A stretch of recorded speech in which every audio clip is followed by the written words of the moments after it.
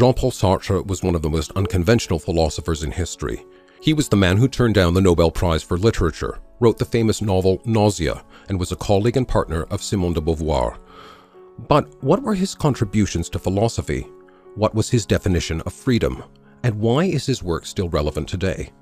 If you like our philosophy videos, click on the subscribe button and tell your friends about us. Jean-Paul Sartre is considered to be an existentialist philosopher. However, many existentialists didn't see themselves as part of this movement. They also had many differences of opinion.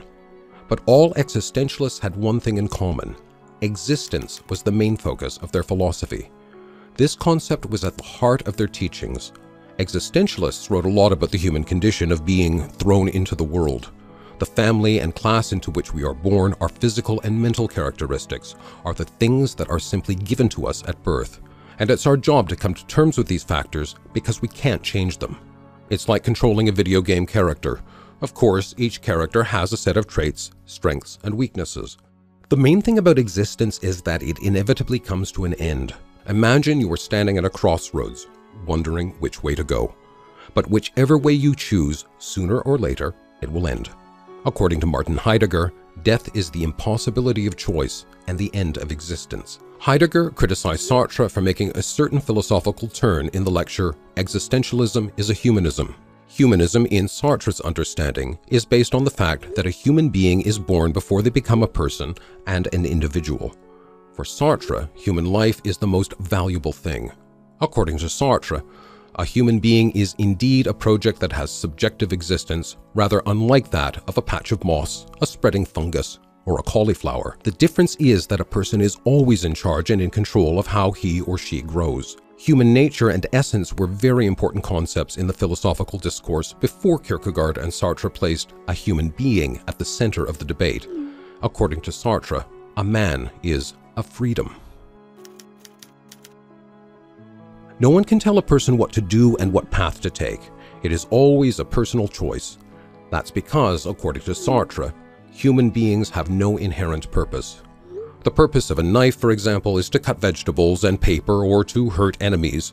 So a bladesmith makes it according to that purpose. If he wants to make a knife for chopping vegetables, it must be small, handy, and have a short blade. A big two-handed sword wouldn't work because it wasn't made for chopping cherry tomatoes so the nature of a knife is determined by its purpose. But a human being is not a vegetable knife. A person simply doesn't have an inherent nature, purpose, or essence. There are no absolute criteria for people to fit into. An individual chooses what to do and how to act. So every person is an example of an individual. But this also means that external circumstances can't excuse our choices. We are always fully responsible for what we do and we are responsible not only to ourselves, but also to the rest of humanity. Sartre believed that choices of one person affect the whole of humanity. He developed this idea even further. Suppose I want to get married and have children. It seems that this decision is mine. It depends on example on my feelings and my financial situation. But in fact, by marrying someone, I become an advocate of monogamy, and that doesn't just affect me, but the rest of humanity. What does this mean? Well, Sartre was suggesting that if he got married, he would be normalizing the practice in question, and that would put pressure on those who don't want to get married or have a family. That's how one person's decision can affect others. Similarly, we think of all Phoenicians as seafarers, when clearly not all of them were. That's why Sartre argued that man is condemned to be free, because with great freedom comes great responsibility. How did philosophers of different eras and schools understand freedom? How did other existentialists define it?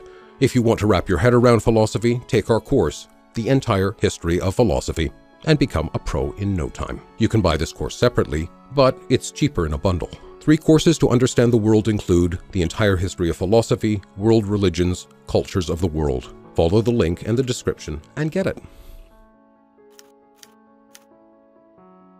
Sartre divided the existentialists into two groups. The first are religious existentialists like Jaspers and Gabriel Marcel. The second are atheists, Heidegger and the French existentialists, including Sartre. While the former saw God as the first cause of all things, the latter denied that there was a first cause at all. The existential atheists, according to Sartre, went further than Nietzsche, for example, who said, God is dead. Not only did they eliminate the idea of God, but they gave a justification for this thesis. There is no human nature and no ideal because there is no God who could create it. Another difference between the approaches of religious and atheistic existentialism lies in the understanding of the transcendent, that which is beyond perception. For religious existentialists, it is God. He is beyond our understanding. For atheists like Camus and Sartre, it is something inexplicable, super sensible. Remember, for example, when Oogway says in Kung Fu Panda that there are no coincidences in the world, there is a reason why he chose Po to be the Dragon Warrior. And it turned out to be the right choice. He saw beyond conventional rationalization, and instead of choosing the best master among the skilled warriors he knew, he trusted the otherworldly signs. Transcendence is nothingness, the secret ingredient that doesn't exist, an empty scroll, a mirror of freedom which can make you do whatever you want. What makes Po the Dragon Warrior is not his fighting skills, but his state of mind. Sartre quoted a phrase attributed to Dostoevsky If there is no God, everything is permitted. For Sartre, this means that we are alone. We have nothing in ourselves or in the outside world to fall back on. There is no justification for any of our actions, no benchmark other than our responsibility to humanity. That's why every action makes us anxious. For Sartre, there is no God, but he does offer his own interpretation of hell.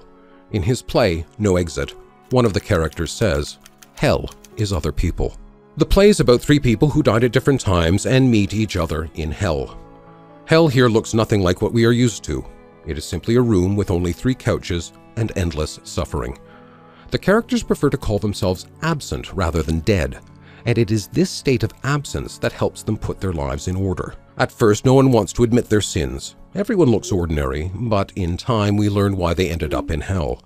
At the end of the play, one of the characters, Garcin, confesses that no hellfire can compare with the endless suffering they are going through. You can shut your interlocutor's mouth, you can cut out his tongue, but hell is other people because you cannot escape the watchful gaze of everyone around. Sartre once said that this quote is often misunderstood. What he meant was that everything we say about ourselves bears the stamp of other people's judgment. Since we have no inherent nature, no true ideal to conform to, we are all different. Yet we try to fit in, to be like everyone else, to live up to other people's expectations. This is why Garcin did not run out of the open door. It was important to him to prove to those around him that he was not a coward. Even after death, he still cares about the opinions of others. But does it really matter what strangers think of us? That's why Sartre tried to avoid all kinds of labels. For example, he refused the Nobel Prize that was awarded to him. He felt that all such rewards put pressure on the reader.